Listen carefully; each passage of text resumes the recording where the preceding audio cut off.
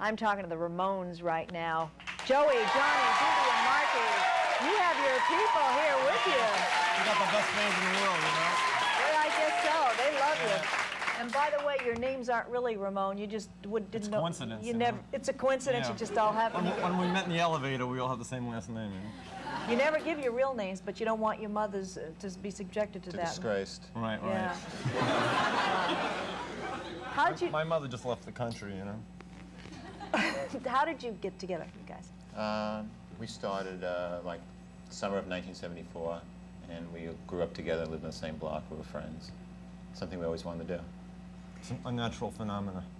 Can you, can you see? Yes. Well, Yeah? Don't do it there. Oh, It's not the right spot, you know? All right. And by the way, you know, I was meaning to get a haircut. You but you, you didn't have time. No, it's too many things to do, you know? What do you do? What do I do? What do you guys do all day? Nothing. That was a great You know, number we that feel you did. cheated that Tom ain't here. Thanks a lot. we don't appreciate, you know, um, not, not that, you know, We wanted to nothing argue with him. You know, right, right. What do you want to argue with him about? Anything. Okay, well, I'll argue with you about something. I, I loved your number, but I couldn't understand a word you said. Does it, do, do you people We don't sing words, just sounds. It's all telepathy, you know? Uh-huh. Yeah. So they have to get it just by osmosing the whole... They osmosed it in. You started back in the mid-'70s. I want to know... I was going to type out a lyric sheet for you tonight, but I have it. We want the airwaves. Um, the, this business is killing me. The Ku Klux Klan is stealing my baby away. Yeah. And uh, um, teenage lobotomy. Uh, yeah. You got it all. I Yeah, got right, it. right. I got it. And, you, and you're doing really well with it. But you started punk, kind of. Well, well, we consider consider it uh, genuine rock and roll, you know, from the gut, you know. rock and roll was meant for punks, and uh, that's it started. I guess in- Elvis Presley started rock and roll mid-fifties. you know. Yeah. But punk is an answer to all the glitter and the stuff that costs a lot of money a, that you pu- can a afford. punk is just uh, a rebellious rock for all kids, uh, all over. I mean, real rock and roll was punk. Not a bunch of old men playing music for your mothers and fathers. That's what you have now. It's what they call rock. For instance. Uh, Styx. yeah, Styx, Kansas, Foreigner, stuff like that. Your parents should listen to this. I mean, Is it, is it mellowing My out? mother doesn't even listen to that. She thought your mother's more hip than that? Yeah. It's yeah. yeah. It's just uh, they just want to clean up music and just push Pat Boone and push mediocrity on the uh, on the public. So you're back to your tattered jeans and your sneakers and um, your leather jackets and nothing fancy and just Well, we do just it. want to be real. We want to be ourselves and not uh, put on a bunch of phony clothes. Yeah, but that- wait a minute now. Is this real? Yes. Well, we wore what, we wore what we always wore. Yeah, no, but isn't this a uniform too? I mean, look, you all we have the went same jacket over on. it when we started the group. We were talking about what we were going to wear. Uh-huh. You know, when we started thinking about it, and we just decided to wear what we had. This is what we were wearing before we were in the band. We were thinking of getting dressed up and all that too, you know, and then we decided not to because All the, all the big rock stars are wearing what we wear now, like Billy Joel, they're wearing their leather jackets and Queen and. They're uh, trying to be the Ramones too. Right, and, and all those stars. The Sex Pistols, the Clash, those groups in England went beyond really what you're doing as far as becoming very politically, that's- that's, politically uh, violent. Safety pins through their They cheeks. didn't do those things. There was just bands that wanted to play rock music too. It's just uh, uh, a fashion started from clothes stores, and uh, the public just media just picked up on a few assorted people. You know, And how just the media's sho- into sensationalism. and all just that. showed them uh, the, the Clash and the Sex Pistols don't wear those things. Hey Joey, can you look up and I mean, with your hair like this, see, could you get in a, in a car accident real bad? I mean, you could get hit by a bus. Right, right, right. Well, you know, I've had a, a few scrapes there, you know, but I'm not, I've, I think God's on my side tonight. That's dangerous. And then you got the glasses besides. and- right, right.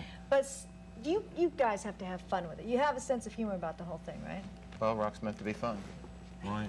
the man says without a smile on his face. Are you laughing? No. With us or at us or I know, you know. Well, no, I'm kind of worried about you, Joey. Ah, well, I'm pretty happy with myself. tonight. Are you? I've been waiting two years to be on this show, you know. How do you feel about about um, the the bands that you really inspired back in the mid '70s, like Blondie and these people that have, in a sense, commercially eclipsed you? Does that make you mad at all? No. I mean, they, they took that way to do that, and play you know disco music and things like that to make it.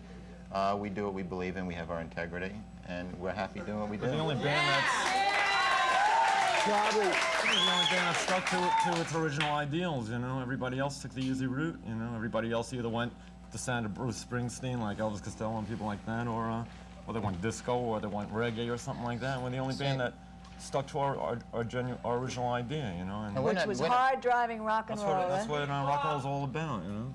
I mean, we're not mad. We just we do what we want to do, and we're happy doing this.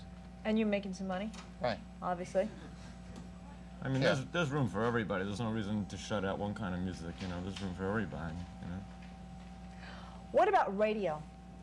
You What guys have about said, well, you guys have said that you're not thrilled about. Do you get a lot of airplay? No, Why not? because radio's like television, and all they want to do is push crap on the, the public.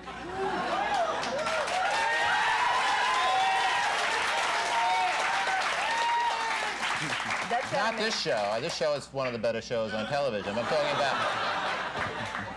I mean, I'd say something bad about this show too, it, it's, but I just feel that way. I mean, I'm just talking Well, about situation show comedies and things like everybody on, that. if that's what you right. want, yeah. I'm talking about situation comedies. But what it's about like radio? radio. You, that must make you mad Three's because you really, something, you know? yeah, you really thrive. I mean, you survive on, on airplay, don't you? You need that to sell your records. So Yeah. Well, It helps. Radio, radio, radio just turned into a big business. It's, uh, you know, just pushing mediocrity and uh, just like, um, it's, it's uh, just, all they care about is money now. Like, take the 60s, was definitely the most innovative time in, in the history of rock and roll and radio, where they play everything and they look for new things to play. And the DJs were the hip people, and they turned us onto the Beatles and various people like that. I mean, nowadays, uh, you know, the DJs could care less. It's just a salary, and uh, and it's just radio's totally sterile. You know, it's uh, They all play their hit formulated list. and You homogenous. don't Most really need it though. really, We we haven't had it, and we we're getting along just fine without it. And, uh, yeah. And kids kids don't, just because there is no radio doesn't mean that kids have to be stuck um, with mediocrity and not thinking. They just have to discover things on their own, whether it's us or anyone else. You know. do you write all your own stuff? Yeah, well, we've done a few covers by some of the some other people too, Mm-hmm. but mostly we write our own songs. Phil Spector did one of your albums. Yeah, That's he produced one. Yeah. What have you got in the future? Well, What's our new album up? just came out, Pleasant Dreams. It Mm-hmm. came out a, a month ago. And uh, we're just touring America right now. We'll be going to the Midwest this coming month. And How do you it's- do in the Midwest? Oh, very good. It's a good place. Do those people understand what you're about? Oh, yeah, they're, kids, are, kids are the same everywhere. I mean, basically, if you want to come and have a good time and be entertained. Uh, so, you know, everywhere's the same. It's the kids in the in the in the suburbs, like the Midwest, that are really kind of cheated because uh, you know a lot of people don't go to that. You know, like we hit all the nooks and crannies, you know. Whereas the big, a lot of the big bands just play all the 20,000 civic auditoriums in the country, and we don't, you know, we play for the people, you know. Whereas they play for the money and. Uh, they could care less if the kids can dance or see, you know, or if the bouncer breaks their head, they don't, they, can- they can care less, you know. Well, actually, uh, you, you know, you know, I've seen these big bands come through, these these big We see 'em groups go like by say, too, you know? yeah, they come by and they have they have nine thousand people following them. I mean, you don't need all that money anyway. You don't put it into clothes. I mean, right? You, But we're, we don't go out to the Midwest and really shock anybody. We're just the same as they are. We're, we're not, we may be a group based down in New York, but we're all kids from Queens. We're suburban people. And we have the same problems that everybody else has in Detroit or in Ohio or anywhere else. And We got that's why stock in kids are Levi's, though, relating to us. I bet you do. The Ramones. Thanks very much for coming down. You sure you're okay, Joey? Yes, yes, I'll, I'll Oh, survive. All right. Okay. Thanks very much. They started out in a paint store and they've There we go. Last month, a Minneapolis